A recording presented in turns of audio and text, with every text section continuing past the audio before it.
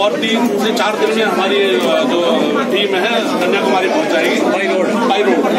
और दो अक्टूबर सुबह नौ बजे के आसपास अपना कन्याकुमारी गांधी धाम से स्टार्ट करके हम कश्मीर लाल चौक पे पहुँचेंगे पंद्रह तारीख तो कितने धावक है इसमें? इसमें साठ धावक है जी हमारे सारे प्रोफेशनल सारे प्रोफेशनल हैं। कोई भी हमारा 20-25 किलोमीटर से नीचे का धावक नहीं है। किन किन क्षेत्रों से?